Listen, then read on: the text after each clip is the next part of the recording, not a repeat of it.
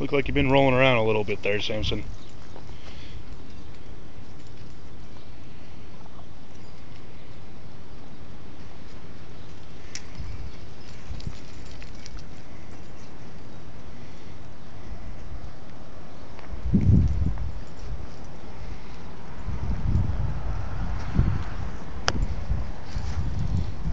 Hi, Rope.